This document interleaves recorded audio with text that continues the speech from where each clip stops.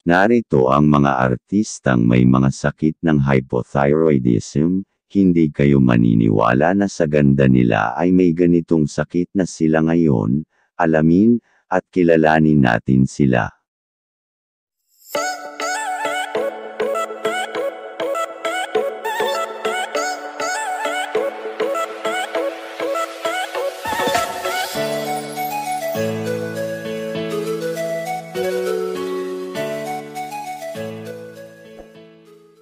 Miles Ocampo, inamin ng aktres at Eat Bulaga host na si Miles Ocampo sa isang interview sa kanya sa Magandang Buhay Kamakailan, ay inamin nga nito na nagpa-surgery ito dahil sa sakit nito sa thyroid.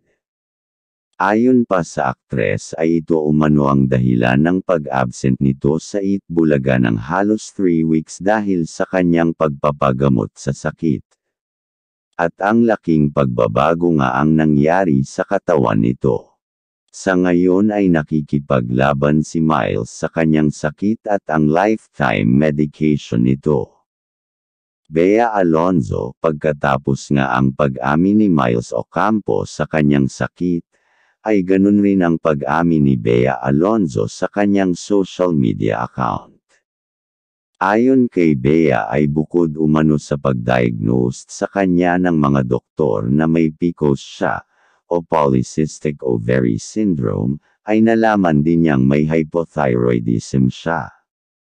Kaya umano tumaba din ng husto ngayon si Bea, Aniya, aside from having PCOS, I recently diagnosed with hypothyroidism, so that's the reason behind my gaining weight. I'm trying to address it now by working out, by dieting, and taking meds for it and supplements. So, wish me luck, sana matapos na siya. So sa mga nagsasabi dyan, bakit ang taba na daw ni Bea?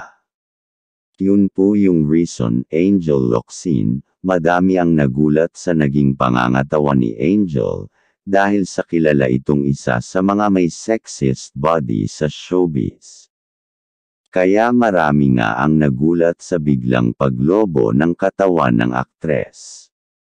Marami ang hindi nakakaalam sa tunay na sakit ni Angel Locsin na hypothyroidism.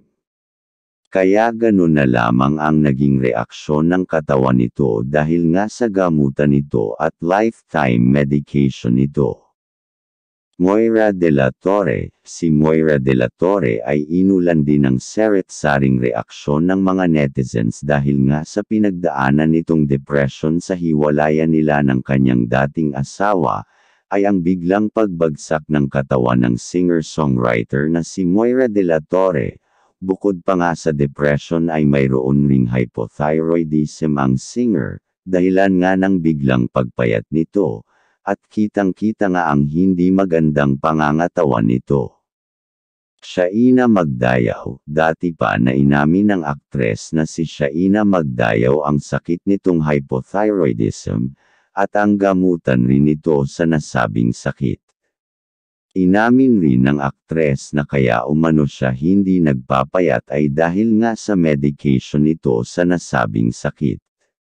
Ayon pa sa mga dalubhasa, ang sakit na hypothyroidism ay common na umanong sakit ito sa mga kababaihan.